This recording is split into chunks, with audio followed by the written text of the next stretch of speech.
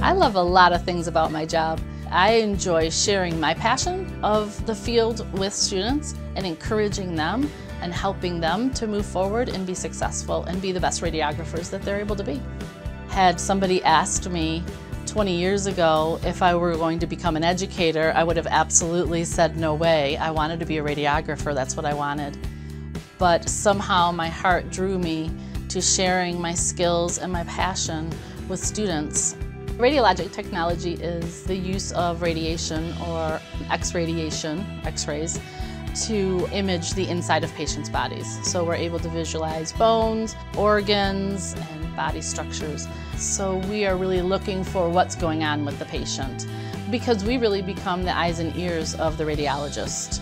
You know, the radiologists don't have the opportunity to interact with patients most times, so they are reliant on us and our imaging. So the radiologist knows exactly what the patient's experiencing, where should that radiologist be looking, and really maybe hyper-focus on that area. Students should consider this career because it is a growing field. Um, there are many opportunities to evolve throughout your career in diagnostic imaging. Here at OCC, we have outstanding programs, particularly our health profession programs.